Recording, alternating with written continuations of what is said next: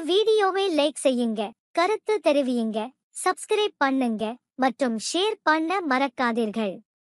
உங்கள் ஆதரவு இருந்தா இது மாதிரி வீடியோக்களை மேலும் உருவாக்க உதவும். நன்றி.